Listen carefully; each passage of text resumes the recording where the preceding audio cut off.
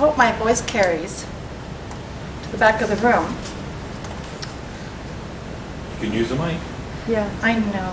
Um, Yes, that's Yeah, just press the Press button right it. there. Press Press it? Yeah, Hello? there you go. Okay.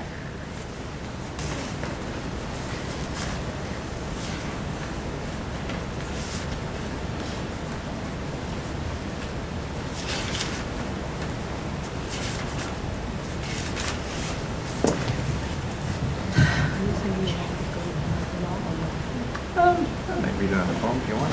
There's a ring time. The 19th century poet William uh, Wordsworth um, liked to say, poetry are thoughts recalled at a time of tranquility. Now, my poetry journey started in 2003 when my husband and my daughter were struck with SARS. Not this daughter. I have three daughters. Oh, Uh, they both survived, but um, we were in quarantine, they were hospitalized, and it was a trying time.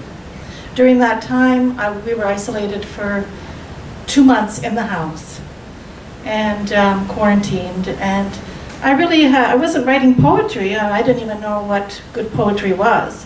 I was jotting down thoughts. It was impossible to write good poetry when your when your mind is foggy, and you know there's an ice storm, and um, you know it's very difficult. It wasn't until later when everything was calm that I was able to put down some words and phrases on paper. Um, and poetry helped me very much. It, it was very, very therapeutic to me. Um, I would just like to share a few words, a few, few pieces, uh, some of my newer poems. This is called Face, Fe- Feeling the Face of the Poet. Every line is a rod curve taken, when the moon is aglow, when it is covered, and sunrise is long ahead, with hanging pearl strings, days uncertain. My meringue sky cleaves desire in the horizon. Rhythmic breaths slip as the moon divides the night. Thunder tremors bring home wing-tipped combs.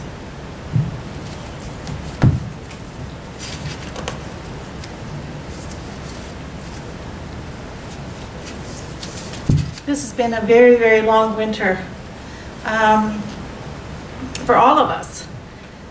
My poem is called A Long Winter.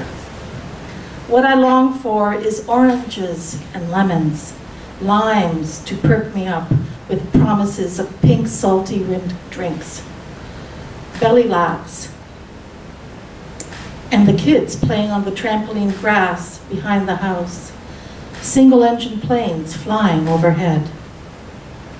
The snowman outside tries to smile, a cracked smile,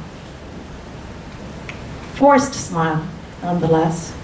Would rather be on the waves, froth in the ocean, salty sea, instead of putting up with the burn of sand and salt from yellow plastic bags in the garage.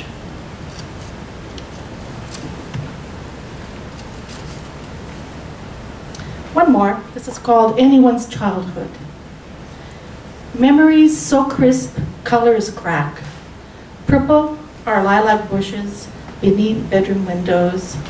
Perfume wafts in thoughts of childhood daydreams, where simple gravel stones become diamond flecks shining in Patagonia mines.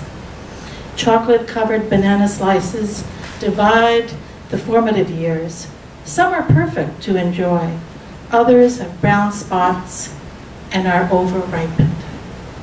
Thank you.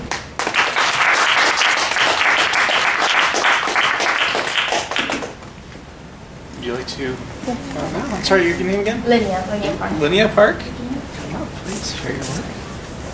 Do you want me to use the mic or can just? You can just speak out, whatever you're more comfortable with. I am actually, don't mind. Um, I think I could, pretty much I can perform um, anything, you know, I can dance in front of people, I can do drama. The only thing I can't really do is perform poetry in front of people just because I'm very subconscious about my poems. But um, I actually started writing also because um, I was going through some tough time in high school in grade 10, like every teenager does. And I and my resort was poetry. And that's what I decided to go with to help myself. So this was my most recent one. I haven't written in months, but this was the last last one I've written. And um, in the beginning, um, I was never good, but now that I started, this is how far I've gotten, I guess. Okay, so fingers crossed for deception is your candor.